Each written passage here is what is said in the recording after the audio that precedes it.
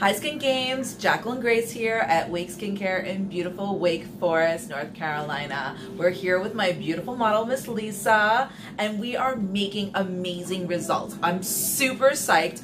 The way that her melasma is just totally pulling off, dissolving. It's really a beautiful treatment.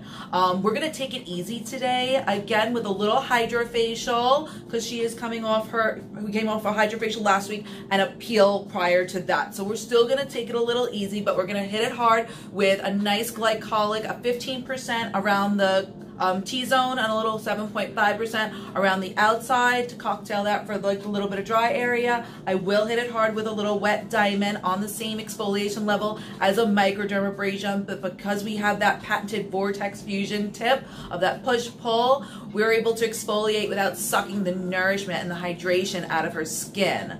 Uh, we'll finish that with some vitamin C, glycolic serums, as well as a clarifying serum to still nurse that little bit of breakout. We incorporated a different hydrating cream um, just to kind of ease up that breakup, that breakout a little bit. And we will um, carry on with her actives of her, her retinoids and her peel pads to really just help smooth everything out.